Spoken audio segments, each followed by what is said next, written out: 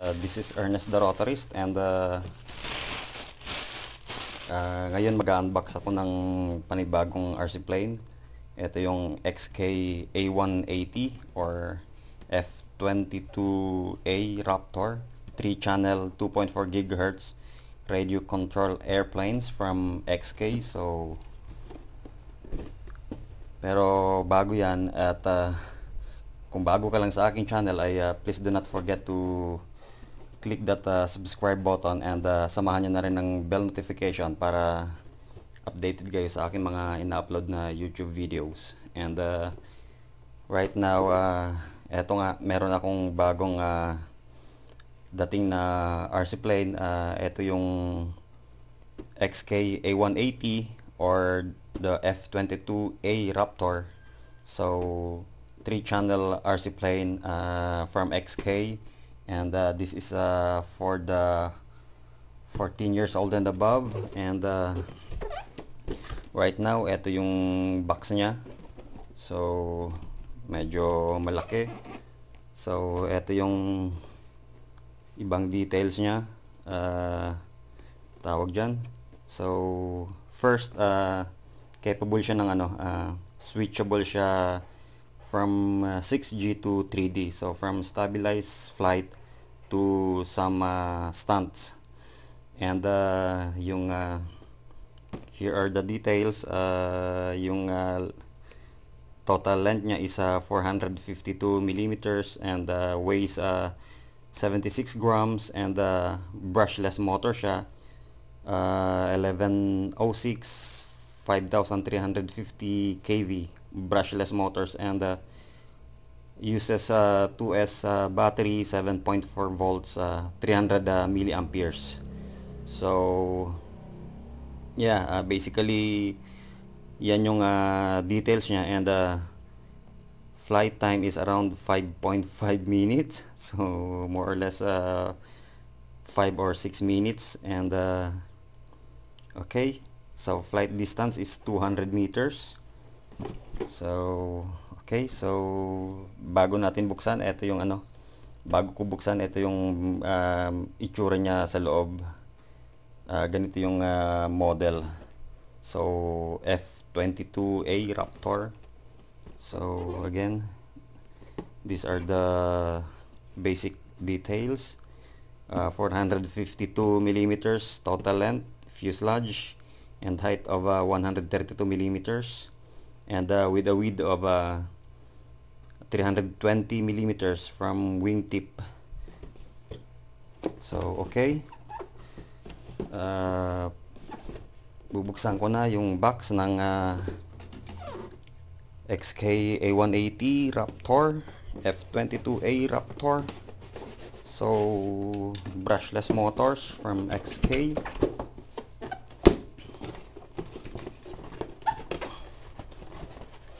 Okay. So, naka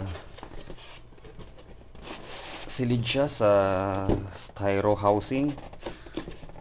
And okay. So, bali ito yung uh, RC plane. Tigas. Ayun. Ito. At dito matama yung handle oh. Kaya pala ayaw lumabas eh. Ayun oh. Ito yun oh. Ito yung medyo nakaka... Ay! Ano ba yan? Bali-bali ko na lang. Okay. so...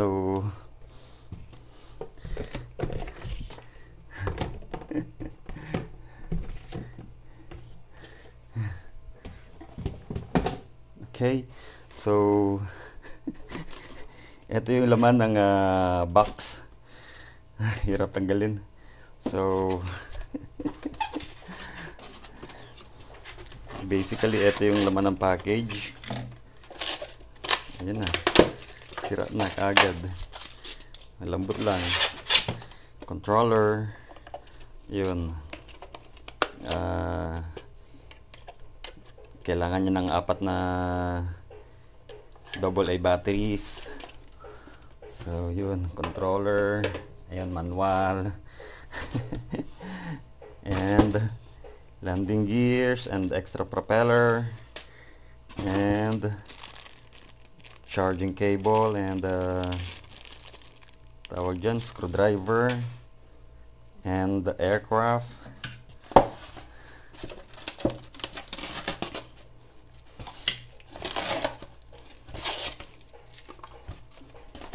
So, ito yung aircraft. Brushless motor. Let's see.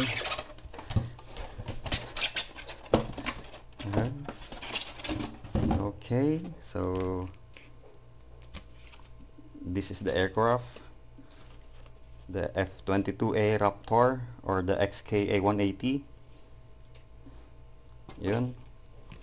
Uh, made of uh,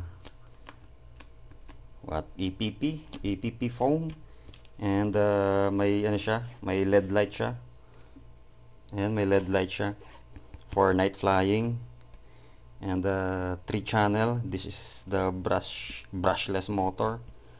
And uh, ayun sa loob yung battery.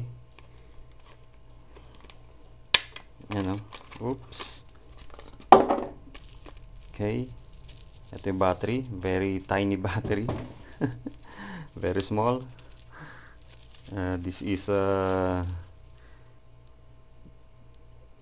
300 milliamperes battery 7.4 volts 2S napakaliit lang and napakagaang. And okay. So ito yung aircraft. And ito yung lagyanan ng ano dito mo isasalpak yung ano yung mga landing gears niya. So, yun. So, ito yung battery. so, this is the aircraft. Manipis lang siya and napakagaang. Okay. So, hopefully, tatagal siya and then uh, hindi ka agad magka-crash. so, yun, no? So, bali 3 channel. Wala siyang aileron. So, okay, folks. This is the aircraft. Okay naman siya. Maganda naman. Uh, mukhang matibay naman. Mukhang makunat yung foam na ginamit sa kanya. Ayan o. So, napaka-basic lang. Okay. So, yan. Ito yung battery. Teka. And the landing gears. Okay. So, basically, yan lang yung ano, uh, laman ng uh, XK A180 or the F22A Raptor. Yan, yung remote niya. So, yun. Wala siyang LCD display. Yan o. Walang LCD display. Yung parang ano rin. Walang trim. So, eto lang yung may trim. parang aileron lang yung may trim oh. Yan o, yung trim. Yan o, eto wala. Talagang throttle lang to. up and down lang oh. Up, down, up, down. And then eto yung naro-rotate. So, spring loaded. Uh, left hand throttle. So, okay. So, yeah. So, okay. So, basically, ito yung laman. And, uh, Of course, abangan niyo yung ano, yung maiden flight na mangyayari later. So, yeah. So, alas 9, mag-aalas 10 ngayong gabi. Ngayon dito sa Pilipinas and uh, syempre matutulog muna ako. And uh, bukas na umaga, maiden flight. So, abangan nyo. So, okay, thank you for watching and uh, please do not forget to subscribe to my channel. Thank you and uh, I'll see you in my next uh, video um, for the maiden flight of uh, my XK A180 Raptor F22 Raptor. So